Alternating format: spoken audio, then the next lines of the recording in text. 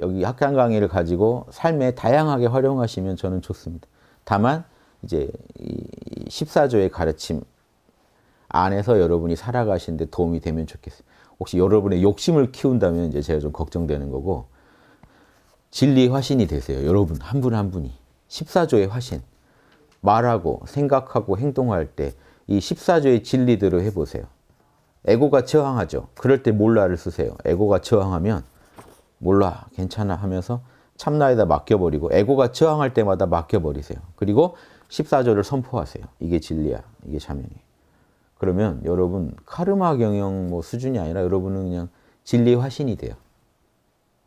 간단합니다. 진리의 화신 되는 비결은 참나각성으로 에고의 힘을 약화시킨 다음에 이 14조의 진리를 말하고 생각하고 실천함으로써 여러분 삶을 진리로 바꾸는 거. 여러분 삶이 삶에 진리가 이제 자리 잡아버리면 여러분은 진리의 화신이 돼요. 아주, 아주 간단한 방법입니다. 진리의 화신 되기. 몰라 괜찮아는 그럴 때 쓰세요. 명상은 그럴 때 쓰세요. 에고가 저항할 때 몰라 쓰시는. 그러니까 지금 이 얘기도 그래요. 그 이 말들은 뭔가 좀 추상적이잖아요. 아무리 뭐 실천 지침이라고 해도 어떤 상황이 전제되지 않고 그냥 이 말만 있으면 그것도 좀 공허합니다. 그러니까 여러분 언제 하시느냐? 욕심이 통할 때 이게 출동해야 돼요. 특히 공부는 어떻게 하느냐? 카르마 경영이라니까요. 근데 카르마라는 게 발동할 때가 뭐예요? 뭔가 내 탐진치가 작동할 때죠. 욕심이 크게 흔들리고 움직이고 할 때 야, 이때가 이제 물 들어올 때요. 이때 내가 뭘 해야 되는구나 하는 거예요. 이때 내가 뭘 할 거냐? 14조를 하면요. 카르마, 카르마의 발동이 딱 시작될 때 이제 14조로 요리해내는 그거의 전문가가 되시지 않으면 아무 일 없을 때 혼자 명상하면서 14조 읽고 막 눈물 흘리고 해도 부질없습니다. 작은 움직임에 그냥 날아가요. 아주 작은 움직임에도 막. 그래고 막 14조 읽고 막 감동하고 혼자 막 방에서 그러다가 그 막 밖에서 막 아들이 부르고 그러면 욕하고 막 음, 네가 웬수다. 내가 지금 진리랑 하나 됐었는데 이러면 뭔가 좀 이상하잖아요. 이상하지만 또 어떻게 할 수가 없잖아요. 공부가 원래 이런가 보다 하시겠죠. 그래서, 예, 그래서 이제 더 심해져요. 상태가. 역시 세속인들하고 같이 사는 거 아니야. 막 이런 이러면서 점점 산으로 들어가시는. 역시 속인들은 답이 없어. 이, 이러면 이런 그게 황금줄에 맞습니까? 안 맞잖아요. 근데 이게 제가 말씀드리고 싶은 거는 이런 거예요. 사람이 창의 여러분 안에는 무한한 창조력이 있는데 갑자기 허공에서 여러분 끝내주는 제품 만들어봐. 그럼 못 만들어요, 여러분. 갑자기 취직을 했는데 뭐 애플이나 삼성 어디 취직했다고 치죠. 자, 끝내주는 거 만들어봐. 창의력이 안 나옵니다, 아예. 뭐, 뭘 어떻게 해요. 그런데, 자, 기존 제품 이런 게 있어. 여기서 배터리 문제, 뭔 문제, 뭘 해결해봐. 제약을 걸어주면 자 여기다 창조력을 써봐 하면 여러분 어마어마한 생각이 나옵니다. 창조력. 뭔 얘기인지 아세요? 적절한 제약이 없으면 창조력도 안 나와요. 감이 못 나와요. 왜냐? 몰입해야 할 대상이 너무 방대하면 몰입이 안 돼요. 그렇죠? 근데 몰입 대상, 뭐, 몰입할 주제를 분명히 해주면 여러분 몰입을 쉽게 할 수 있어요. 그거라면 한번 몰입해보자. 자, 내일, 내일 시험 보겠습니다. 시험 범위, 전 과목, 교과서 전체. 그럼 오늘 공부 안 합니다. 뭘 어디를 해요? 그렇죠? 그런데 내일 어, 어, 과목 중에 교과서 몇 페이지에서 몇 페이지까지 낼 거야. 그럼 여러분 공부해야 돼요. 어쩔 수 없이. 마찬가지로 마음이 이미 딱 체념을 하는데 마음이 딱 뭐 이미 붕 떠버려요. 몰입할 수가 없는 거예요. 이게 원리가 있습니다. 제 몰입책에 나와요. 제 몰입력보다 몰입 대상이 너무 크면 우리는 몰입을 못하게 돼 있어요. 그러니까 만만하게 쪼개야 돼요. 만만하게 만들어야 돼요. 만만하게. 그러면 설사 전과목 이랬더라도 아 어차피 준비는 내가 못하니까 내가 그럼 범위를 정해야 돼. 내가 이것만 보겠다 하면 몰입이 돼요. 마찬가지로 몰입 자체도 안 될 뿐더러 창조력도 안 나옵니다. 그러니까 몰입할 만하게 만들어서 창조력을 뿜어내려면 여러분이 주제를 좀 한정 지어야 돼요. 대상을. 내가 몰입할 대상을. 그러면 자 14절을 실천하세요. 막연합니다. 막연해요. 과거를 잊어야지 하면 또, 또 지나가고 그 말도 잊어버리고 다 잊어버리고 자 그런데 지금 어떤 문제가 생겼죠. 그 사안에다 적용하시라. 지금 여러분 심사를 괴롭히는 거기에다 적용하시라는 이 말이 진짜 중요한 말이에요. 그래야 여러분이 창의력이 나오고 창조력이 나오고 이 문제를 6발, 이 14조에 맞게 해결해 보자라고 해야 몰입이 된다고요. 몰입이 되면서 이제 안에 있는 창조력이 끌어져 밖으로 나오게 되고 창조력이 터져 나오면서 막 수많은 영감이 이제 막 솟구치죠. 예, 그러니까 이 주제를 내 몰입력보다 더 큰 주제를 택하면 어차피 못한다. 아예 몰입 못한다. 내가 할 만한 걸로 만들어라. 그러니까 지금 내가 닥친 일에 거기에다가만 집중합시다 라고 항상 자신의 마음을 관리해 가면서 14조로 경영해 가셔야지 막연하게 오늘 14조 잘하자, 하자, 막 이러는 거 아무 의미가 없어요. 그, 그, 그 순간 기분 내고 그냥 흘려보내고 돌아서면 아무것도 없습니다. 그러니까 지금 뭔 일이 생기나 보자 해서 나, 나를 괴롭히는 일이 생기면 그때 14조로 해결하기 요거 습관을 들이시라고 꼭 제가 올해 올해 이제 마지막 얘기 같은데 당부 드립니다. 그것만 잘 하시면 올 한 해 또 많은 진보가 있으셨을 거예요. 그래서 내년도 꼭 또 엄청난 진보가 여러분을 찾아올 겁니다. 으, 엄청나다는 게 기대 이상의 어떤 진보가 꼭 오실 거예요. 음. 아무튼 올 한 해 살아남으셔서 다행이고요. 잘 버티셨습니다. 몰라로 버티시면서 14조로 공략하자.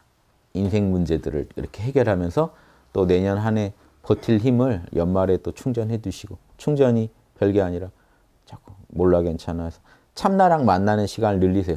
별일 없고 심심하실 땐 참나 만나세요. 물론 뭐 저기 막 인터넷도 관리해야 되고 막 SNS도 관리해야 되고 막 하실 일이 많지만 그거 하는 짬에라도 계속 몰라 하시면서 참나와의 만남, 두근거리는 만남을 계속 이어가시지 않으면 자, 참나랑 만나지 않으면 질, 이 진리는 참나 안에 있는 진리입니다. 여러분이 참나랑 안 만나면 진리가 안 나와요. 어거지로 에고가 진리를 어, 밀어붙이게 돼요. 그러면 안 되고 참나랑 자꾸 만나면서 참나 안에 있는 진리가 내 에고를 통해 나오게 만들어야 된다. 표현되게 만드는 게 그게 아무튼 답이니까 힘, 억지 힘 쓰시면 안 나옵니다. 오히려. 그러니까 아주 지혜롭게 처신하셔야 돼요. 참나랑 자꾸 만나면서 에고의 막 욕망 막 이런 거를 참나한테 맡기고 일체는 참나의 작용이니까 참나한테 맡기자. 이것도 14조 내용이잖아요. 맡기면서 힘을 좀 빼가면서 마음이 좀 양심에 맞게 그러면 변화하실 거예요. 그 결을 타서 뭘 해내고 해내고 해야 돼요. 에고가 혼자 막 아자아자 해가지고 뭘 해보겠다고 하면은 그거는 욕심이 붙어서 안 될 거예요. 뭘 보면 아냐 욕심 붙었다는 게 그게 안 됐을 때 막 분하고 막 이러시면 욕심 붙은 거예요. 근데 이 참나와 함께 하는 거는요, 그런 마음이 덜 합니다. 에고의, 에고가 덜 자극받아요. 일은 일대로 잘 되고, 에고는 덜 탐진치에 자극받게 일을 처리하셔야 돼요. 가능합니다. 그러니까 더 깨어 계시면 그게 가능하죠. 아, 잘 아실 거예요. 그래서. 지금도 몰라 하고 내려놓으세요. 14조 잘해야 된다는 걸로 또 스트레스 받지 마시고 몰라 하세요. 기분 좋아야 14조가 나오지 억지로는 안 나오는 법이에요. 그래서 나, 내 기분을 계속 관리해 가는 겁니다. 기분이 너무 나빠지잖아요. 그러면 탐진치가 악, 이, 이 악의 방향으로 굴러가기 쉬운 상태가 됩니다. 그러면 이 14조 절대 안 나와요. 내 기분이 좋아야 나와요. 여러분 기분이 좋아야 여러분 진짜 기분 좋잖아요. 그럼 괜히 옆 사람한테 막 커피라도 타다 주고 해요. 기분이 좋 내가 좋으니까. 내가 안 좋으면 그 마음이 안 납니다. 억지로 하게 돼요. 그러니까 내가 내 마음 계속 관리해 주는 게 보살의 되게 중요한 임무예요. 아까 책임은 막중하다고 했죠. 그 임무 중에는 내 기분 계속 평상심 유지시키기 이게 있어요. 왜냐, 내가 기분 안 좋으면 다 꽝이에요. 인내지 안 할 거잖아요. 내가 좌절하면 인내지 안 나옵니다. 하나님이 아무리 많은 진리를 준비하고 있어도 내가 아, 아버지 저 됐습니다. 저는 아, 이번 생에 그럴 기분 아닙니다. 그럼 끝이죠. 저는 그냥 삐뚤어질 겁니다. 하면 끝이에요. 내가 안 하겠다면 그만이. 여러분의 힘이 막중합니다. 하나님이 아무리 엄청난 그 막 영감의 막 그 생명의 물을 지구에 쏟아내고 싶어도 여러분이 수도꼭지거든요. 여러분이 거부하면 그만이에요. 저는 안 열 겁니다. 문을 열어줘야 돼요. 여러분이 수문이에요. 문을 열어줘야 되거든요. 열어줄 사람이 지금 기분이 안 좋으면 안 열려요. 그러니까 보살의 제일 임무는 내 기분 관리하기예요. 남의 기분이 아니라. 내 기분을 계속 좋게 만들어야 돼, 사실은. 몰라 괜찮아. 언제 쓰시겠어요? 그때 써야지. 내 기분을 내가 계속 돌려놓고 있어야 돼요. 여러분 기분이 안 좋으면 분명히 옆 사람한테 화내게 돼 있어요. 아이고 내가 화를 내버렸네. 아니에요. 늘 그렇게 사셨어요. 새삼스럽게 왜 늘 새롭게 놀래시는 버릇들이 있어요.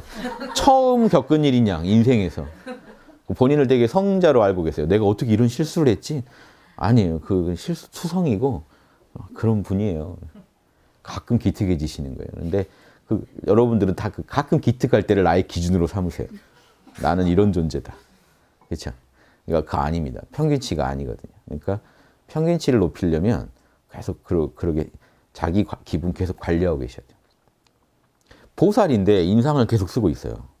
그럼 옆 사람도 같이 기분 나빠지죠. 그럼 이게 벌써 자해 해타잖아요. 어떻게 이게 보살도예요? 자해 해타가 일어났는데. 아, 그런 분 있어요. 제가 예전에 군대에서 사무실 가면 사무실 문 열기가 싫은 분이 있어요. 문 열면 그분 봐야 되는데 그분이 인상이 오늘 딱 안 좋다 그러면 오늘 하루 안 좋은 거예요. 사무실 분위기 다 안 좋아요. 남들도 괜히 조심하고 막 큰 소리 내서 못 웃게 되고 이제 그 사람 맞추느라고. 그럼 이게 말 한마디도 안 했죠. 그 사람 그럴 거예요. 나는 말 한마디도 안 했는데 너희 생각해서 나 화나는 거 아무 말도 안 했는데 이미 그 방은 완전히 폭파됐어요. 그, 그 사람으로 인해서. 이걸 모른다니까요. 자기가 모른다니까. 주변에서도 말해줘야 돼요. 왜냐하면 신호를 서로 주고받아요. 그래서 주고받되 자기가 먼저 잘해야 됩니다. 내, 내 거 내가 먼저 챙겨야 돼. 그래서 막 경련 일으킬 정도로 웃고 다니시라는 게 아니고 그냥 기분 좀 풀고 다니요 기분만이라도. 그러니까 내 기분 계속 풀어놓으라고요. 얼어붙을만 하면 몰라 괜찮아 해서 풀어야 돼요. 녹여놔야 돼요. 계속 녹여놓을 책임을 여러분이 갖고 있습니다. 아니 우주에서 여러분의 중생심 누가 책임져야 돼요? 여러분의 카르마 누가 책임져야 돼요? 여러분이요. 그걸 안 챙겨놓고 남의 거 카르마를 막 도와주겠다고 하면 그 좀 보살이 좀뭐 보살도를 왜곡해서 이해하고 있는 보살이죠.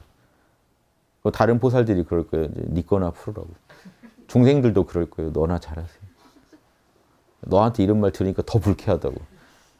어, 이게 착각하는 거예요. 자기는 보살이라고 자기 생각했는데 남들은 쟤만 바뀌면 우리가 이제 우리 사무실이 나아질 거야 했는데 자기는 자기가 보살이라고 생각할 수도 있단 말이에요. 직장에서도 가정에서도 가정에서도 참 나만큼만 하면 좋을 텐데 하는데 다른 가족들 입장은 전혀 다를 수 있어요. 예, 그러니까 이게 눈치 눈치가 제가 항상 얘기하잖아요. 보살도는 눈치다. 눈치가 빨라야 돼요. 좀 하늘 눈치도 빨리 캐치해야 돼요. 아 눈치가 좀 이상하다. 그럼 빨리빨리 육바라밀을 더 하고 이렇게 해야지. 또 주변 사람들 눈치가 이상하다 그러면 빨리빨리 자기가 육바라밀 먼저 다가가고. 이게 자기 기분 관리가 보살이 해야 될 제일 중요한 부분이죠. 왜냐? 일체 유심조라 일체는 자기 마음으로 다 보고 있는 거예요. 여러분 각자가 자기 마음의 VR만 보고 계시잖아요. 그럼 자기 마음의 VR이 지금 엉망이 돼가고 있고 왜곡돼가고 있는데 이걸 방치했다. 부정적이 돼가고 좌절이 기본 배경음악이 되고 있는데 여러분이 그걸 방치하고 있다. 그러면 어떻게 중생을 구제하냐고요. 여러분 시각이 이미 왜곡돼 버렸는데 여러분 눈에 안된 보인 사람이 더 보살일 수가 있고요. 이미 왜곡돼 버리고 나면 여러분이 제일 문제가 돼버 문제아가 돼버려요 우주에서. 그러니까 계속 마, 맑은 마음, 정확한 잣대. 내가 14조의 진리의 잣대를 정확히 알고 있나? 내비게이션 정확한가? 나는 깨어 있나? 내 마음은 지금 에고로부터 좀 초연해 있나를 꼭 보셔야 돼요. 그럼 여러분 그때는 여러분 신성의 마음이기 때문에 여러분 다 잡아낼 수 있습니다. 여러분의 잘못, 남의 잘못, 그리고 여러분 기분도 다 풀 수 있어요. 그래서 홀로 항상 깨어, 운전자 정신 차리고 깨어 계시면서 뇌비 잘 작동되나 요 14조 진리 꼭 점검해 보세요. 여러분 마음에서 잘 작동되고 있나 이게 뇌비로서 기능하고 있나 여러분 인생이 이 14조의 의지에서 가고 있나 점검해 보시라고 중요하죠. 그리고 나서 틈날 때 호흡하시면 에너지까지 기름까지 채워가면서 하는 거죠. 이 이상 뭐 제가 더 드릴 말씀은 없고 저도 이제 요런 제가 말씀드린 것 제 강사하니까 제가 좋은 게 있어요. 말을 해놓잖아요. 말해놓은 게 저를 이제 구속해요. 그래서 제가 이제 살아갈 때 제가 말해놓은 게네 말도 네가 안 지키면 누가 지키랴 하는 그게 있어서 제가 말을 막 뱉어놓으면 해야 됩니다. 그래서 제가 평소에 제 강의 많이 들으시면 알겠지만 저는 많은 그걸 깔아놓잖아요. 어, 성, 성인도 욕심이 있는 법이다. 막 이런 나중에 이제 할 말 있게 저는 항상 언행일치를 추구하기 때문에 말에서 미리 다 이렇게 빠져나갈 구멍을 만들어 놓습니다. 예, 미리 하나하나 해놔요. 나중에 딱 저한테 야, 뭐 도인이라는 사람이 그러냐 그러면 저기 유튜브 링크 몇 개 정도 보내드릴 수 있어요. 자 보세요. 뭐, 뭐 도인이 싸우면 안 되지 그러면 싸움 바람일 강의 있습니다. 제가 미리 다 해놨어요. 뭐 도인이 그렇게 막 욕망에 그럽니까? 사소한 욕망도 챙겨라는 강의 있어요. 저는 다 있어요. 예, 빠져나갈 구멍 다 만들어. 안 그러면 제가 이제 언행 불일치가 되니까 제가 안 하는 걸 했다고 할 수도 없고 또, 또 제가 하면서 얻은 이 진리의 이 맛, 욕망을 경영, 경영해 가다 느낀 요 맛을 전달 어떻게 안 해드릴 수도 없고 그래서 근데 또 많은 분들이 도인은 그러면 안 되지 하는 또 선입견도 있으시고 그래서 요, 요, 요 사이에서 계속 제가 많이 도움 드리려고 수를 놓고 있습니다. 유튜브 강의 많이 참고하시고 예 마지막 마지막 예 하나. 보살도를 하면서요 제가 나름대로 이제 잘한다고 생각하면서 하고 있었는데 그러니까 알고 보니까 사실 이제 제 눈에는 좋아 보였는데 이게 알고 보니까 완전 그럴 수 있죠. 왜곡되거나 예. 그런 거에 대한 지표 예 같은 건 좀 어떻게 할수 있을까요? 요걸 그게 근데 이건데 진리는 이건데 그 이 얘기 이걸 좀 그 명상하실 때 내가 다 다른 분도 마찬가지 내가 문제할 수 있다는 생각하셔야 돼요. 그러니까 요거를 내가 잘 지킨다고 하고 있는데 중요한 거는 남이 행복해져야 되거든요. 그러니까 이 자리 이탈하는 게 남이 진리로 나를 나로 인해서 남이 더 자명해지고 진리로 인도되고 자명해진다는 거는 남이 행복해져야 돼요. 남이 더 기, 예, 기쁨의 삶을 살 수 있어야 되고. 그렇죠? 내가 양심적으로 대접했다면. 그러니까 그 결과가 나오는 날 보셔야 돼요. 근데 주변에 안 나오면 많은 분들이 흔히 남 탓을 먼저 하기 쉬워요. 내가 이렇게까지 육바람이라 하는데 정말 안 받쳐주네. 남 탓을 하기 쉬워요. 속인들은 이래서 문제야. 이렇게 아까 같이 얘기할 수도 있어요.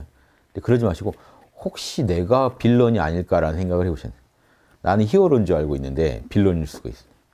그리고 내가 도시를 다 구했다고 생각했는데 다른 사람들이 이 도시에서 너만 진짜 사라지면 진짜 걱정이 없겠다라고 하면 충격받겠죠. 근데 그런 충격을 미리 대비하세요, 여러분. 나중에 진짜 받으면 진짜 힘듭니다. 미리 자기가 혹시 하고 해보세요. 혹시 내가 오늘 보살도라고 남한테 한 충고가 남한테 긍정적 결과를 낳은 게 아니라 부정적 결과, 되게 한을, 한을 쌓게 만들었다든가 오히려 안 좋은 쪽으로 어떤 과보를 만들어낸 부분이 있지 않나라고 의심을 해보시고 한번 떠보세요. 어떻게 그런가 안 그런가. 미리 좀 떠봐서 그런 것 같으면 빨리 사과하고 바로 잡는 게 일 크게 안 만드는 법입니다. 거기서 더 버티시면 일이 커져요. 점점. 그 보살도는 일이 작을 때 실수할 수 있어요. 이게 보살도 공부라는 게 끝없는 실수입니다. 끝없는 실수인데 왕양명이 이런 말을 해요. 전순록에서. 내가 양지가 답이다는 말을 할 수 있게 될 까지 엄청난 많은 그 시련을 겪었다. 단련이 있었다. 처음에 그냥 쉽게 양심이 답이다 이 말을 똑같이 한 거예요. 왕양명 선생님. 근데 이 말을 제대로 내가 내가 스스로 인가하기까지 많은 세월이 걸렸다. 그러면서 이해를 들어요. 그 이제 의사가 팔 여러 여러 팔을 꺾은 뒤, 꺾은 뒤에 그 훌륭한 의사가 된다고 하듯이 이러면서 예를 들어. 자기도 수많은 실패와 낭패를 보고서야 양심이 답이라는 말을 확실히 할 수 있게 됐다. 그래서 이 왕양명이 말년에나 정확하게 얘기합니다. 그 한문으로는 치양지인데 저희는 정보도 드려요. 제 강의는 듣다 보면 양지를 완성하라 이거 양지를 실현하라. 양지만 내 양심 이 양지는 양심이에요. 양심의 그 판단이죠. 양심의 판단만 내가 올바로 실천하면 모든 문제의 답이 된다는 걸 오늘 내가 확실히 내가 말할 수 있겠다. 이게 저 뒤에는 나와요. 치양지가 답이더라 하는 거 알았다는. 그러니까 지금 이게 답인 거를 스스로 아시려면 많은 낭패도 겪어보셔요. 나는 고쳤다고 했는데 도움 준다고 했는데 막 환자가 소송 걸고 막 이런 일도 겪어봐야 되고 막 겪다가 겪다가 어느 선을 찾는 거죠. 그러니까 그때 제일 좋은 그 유용한 팁은 내가 혹시 상대방한테 내가 한 말이 오히려 더 악영향을 줬을 수도 있다. 선한 영향을 줘야 되는데 악한 영향을 줬을 수도 있다는 거를 꼭 뒷조사해 보시고 하셔야 돼요. 그러니까 계속 자기가 점검하는 수밖에 없습니다. 끝없는 자기 성찰이에요, 이 공부는. 왜냐 남이 말을 다 못 해줘요. 솔직히 여러분 남한테 지적 잘 못 하죠. 그 말해도 되는 날이 온다면 얘기해주고 싶은 분들 많죠. 그러니까 그날은 묻지 않는 날. 야자 타임보다 그런 날을 한번 지정하면 좋겠어요. 그러니까 그렇죠. 후련하게 양심 성찰을 도와주는 날. 양심 성찰 day 해가지고 남의 양심을 성찰을 도와주는 날. 너 거기다 이거 좀 적어. 너 적어두고 아침마다 좀 외워라. 막 할 정도의 하고 싶은 말들이 있죠. 어, 그 그거를 자기가 캐치해내야 되는 거예요. 지금 남이 나한테 차마 말 못하는 말이 있다니까요. 그걸 알아내야 돼요. 그걸 알아내야 돼요. 근데 이제 조심하셔야 되는 게 진짜로 나 진짜 화 안 낼게 얘기해봐 그러면 화, 화내고 끝내게 돼 있어요. 그러니까 아무튼 여러분도 준비가 돼 있어야 되고 그거를 어떻게든 끌어내면서 가는 것도 보살도의 묘미입니다. 근데 너무 다 들으시면 안 돼요. 어차피 어차피 그러면 못 살아요. 그러니까 자기가 볼 때 센 거 하나라도 좀 고쳐가는 맛이. 어차피 우리가 남의 마음에 다 맞출 수는 없어요. 그런데 내가 봐도 그건 분명히 내가 고치는 게 맞는 게 있을 거예요. 그거는 찾아내서 고치시는 게 근데 그거 고치실 때도 그걸 찾아낼 때도 이걸 곱씹으세요. 이거 막 글로도 써보고 외우고 해보세요. 그러면 또 분명히 제가 장담합니다만 명, 명상하면서 요거를 자꾸 음미하다 보면 분명히 떠오르실 거예요. 찐찐 이게 양심을 각성시켜요. 그러면 여러분이 생각도 못했던 게 떠올라요. 저는 실제로 그래요. 저는 명상 중에 내가 잘못했을 수도 있다 하는 걸 받아들이고 요거를 계속 곱씹다 보면 야, 요즘은 그냥 명상만 해도 사실은 떠오르죠. 마음이 진리에 맞춰질수록 금방 떠올라요. 근데 처음엔 요거를 많이 새겨야 돼요. 그러면 여기에 안 맞는 게 검색돼서 떠올라요. 당신 오늘 한 일 중에 네가 오늘 한 일 중에 요거는 방금 네가 말한 거랑 좀 다르게 한 것 같은데 하는 게 찜찜함을 품고 떠올라요. 그럼 자기가 그날 하루에 뭘 바로 잡아야 할 거 하나라도 알 수 있어요. 그럼 그거라도 일단 빨리 고치시고. 그러니까 명상을 자주 하면서 진리를 곱씹다 보면 거기에 어기게 한 어긋나게 한 거 있죠. 그게 저 무의식에 있던 게 툭 떠오를 떠오르는 경우가 많습니다. 제가 해보면 그러니까 딱 돌아서서 명상하면 탁 떠오르는 게 있어요. 아 아까 그 말, 그러니까 할 때는 의식도 못했는데 딱 끝나고 돌아서서 딱 명상 에고를 좀 비우고 있으면 탁 떠올라요. 그 말은 하지 말았어야 했어. 그 말은 선을 어겼어. 이런 느낌이 탁 옵니다. 조심해야죠. 다음부터. 그러니까 이런 식으로 자기가 자기를 자기 마음에서 선명하게 그런 잘못된 게 바로 잡히는 날이 와요. 나중에. 바로는 안 돼요. 그러니까 왜냐 지금 우리 카르마가 다 각자대로 업장들이 두터워서 자기 변호에 능하기 때문에 떠오르려다가 또 발목 잡아요. 야, 넌 가만히 있어. 너까지 나서면 그 자꾸 너무 자괴감 들잖아. 너 막 이게 내부에서 단속을 해서 막아버린다고 말을 이렇게 해도 될까요? 아무튼. 근데 명상을 하면 이게 풀려요. 자체 검열이 좀 풀리면서 에고의 검열이 풀리면서 뭔가 이게 참나가 검열하는 것들이 딱 떠오릅니다. 진짜 중요한 것들이. 에고는 쓸데없는 걸로 고민을 많이 하거든요. 근데 몰라 하고 명상하다 보면 진짜 중요한 본질적인 게 딱 캐치된 상황이 누구나 오실 거예요. 여러분 안에는 참나도 있고 진리도 있고 다 있기 때문에 정확하게 참나와 진리를 자극시켜주면 여러분 누구나 다 그런 직감이 개발되실 겁니다. 예. 본인, 본인과 대화를 많이 해보세요. 단, 본인과만 대화하면 안 되고, 남의 눈치나 남의 대, 남과의 대화를 통해서 정보를 많이 얻어보세요. 슬쩍 찔러보세요. 나의 이런 말이 그때 좀 아프지 않았느냐, 그러면 어떻게 알았냐, 뭐 이러면 확실하잖아요. 그러면 다음부터 조심해. 사실 내가 말을 안 해서 그렇지 이런 말 나오면 조심해야죠. 막 살짝 술 먹이면서 좀 건드려 봤더니 너무 나오면은 막으시고 왜냐면 내가 준비가 안 됐으니까 그러니까 이게 서로 간에 적절하게 가야 돼요. 속 얘기 다 하면 또 다시 못 볼 사이 되거든요. 그러니까 조심조심해서 어쩔 수 없습니다. 조심조심하면서 중요한 건 이거거든요. 나와 나와 너가 점차 점차 밝아져가고 점차 점차 육바라밀의 전문가가 돼간다. 이게 중요하지. 갑자기 우리가 성인처럼 못했다고 막 너, 너랑 나랑 끝났다 이렇게 나가면 안 되기 때문에 급격하게 자, 좌절하실 그런 상황을 만들 필요는 없습니다. 다만 유시민은 귀 기울이면서 눈치껏 살아가시는 게 여러분 그러면 도가 또 높아져요. 중요한 건 이거예요. 내가 죽기 전까지 이렇게 닦아서 뭐, 그, 뭐 예수님처럼 되, 된다면 모르겠는데 그런 거 아니지 않습니까? 예수님하고 왜 비교를 하세요? 여러분 도가 엄청 높아진다니까. 이번 생에 정말 공부 잘했다, 보람 있는 한 생이다, 한 결실을 맺어서 갈 수 있는데 어떻게 안 하실 수가 있어요? 분명히 도는 높아지게 돼 있어요. 예, 여기까지 하겠습니다.